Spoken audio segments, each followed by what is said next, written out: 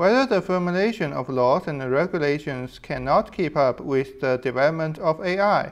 Um, yes, like I previously mentioned, the deepfakes uh, is a huge issue when it comes to uh, misinformation and propaganda um, dissemination. Um, so, for example, recently um, there was um, a deepfake um, that you know Pentagon has been uh, bombed, and you know that fake uh, pictures were floated on Twitter, and the stock market actually crashed because of that, because they thought that it was a terrorist attack. Um, but it turned out that it was deep fakes.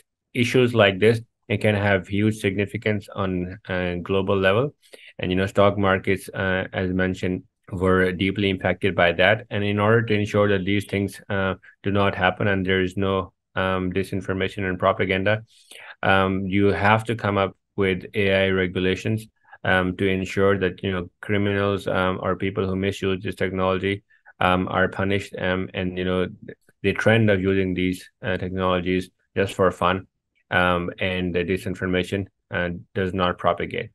Um, in order to do that, a lot of uh, countries are taking the lead. For example, EU AI Act is the first of its own kind, and it will be implemented um, by summer next year. Um, US is in the process of doing that, and China is also uh, leading the way. Um, ensure that uh, this disinformation uh, potential of these technologies is not being exploited.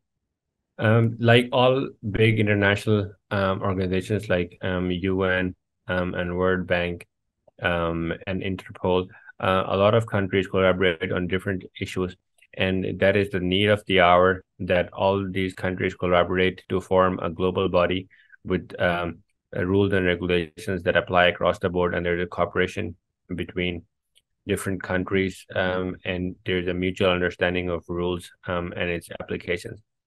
Um, so uh, this is why it's right now it's a gray area because the technology is in its um, early phases. So this is why there needs to be an international collaboration and to make sure that this technology is used responsibly across the globe. Um, but you must also understand that businesses operate um, in societies and um, their products have to comply by safety and um, privacy regulations, and that's for the better.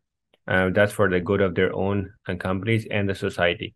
Uh, you do not want to hurt uh, people with your products and services. And in order to do that, uh, you have to comply with the regulations. And regulators must also understand the business needs um, and the use for uh, and the need for innovation. And there has to be a balance between public good um, and the um, business good.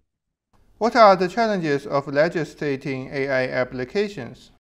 There are many different um, aspects um, of regulation when it comes to AI. First of all, we must establish that if the technology um, is trained in a proper and legal manner, and there are huge uh, implications uh, for that. Uh, a lot of uh, companies, organizations, um, and institutes have pointed that the data that this technology is trained on was not obtained by the consent of the creators. So this is one aspect.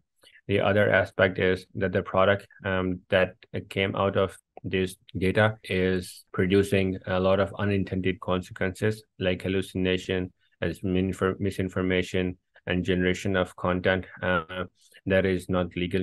And then there's also um, issue of privacy and safety and security um, and sharing that content.